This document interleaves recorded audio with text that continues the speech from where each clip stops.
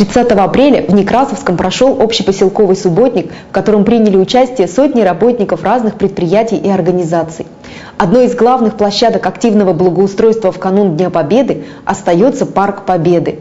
Как преображается мемориальный комплекс и территория отдыха вокруг него, узнаем из следующего репортажа.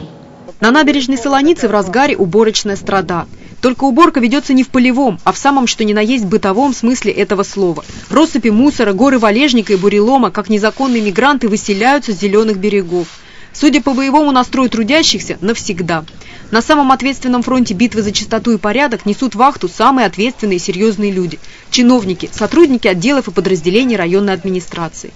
Сегодня к работам по благоустройству парка присоединилось предприятие депутата районной думы Олега Горяченкова «Ярославские газоны».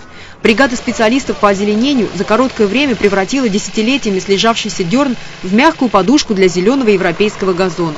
Ровная травка поможет придать парку еще более нарядный и ухоженный вид. Останется только регулярно косить всходы и поддерживать на всей территории надлежащую чистоту. 7 числа начнутся мероприятия, посвященные 65-летию Победы. 7 мая будет открытие памятника нового, который мы стараемся здесь э, изо всех сил поставить достойный нашего хорошего поселка памятник. Это не значит, что 9 числа это будет работа закончена. Работа будет продолжаться и дальше. Поэтому э, считаем, что вот именно этот наш Некрасовский памятник, этот парк будет красивым местом, достопримечательным для поселка. Ну и, конечно, не стыдно будет показать его и гостям, в том числе и нам, нам самим приятно будет смотреть здесь, отдыхать.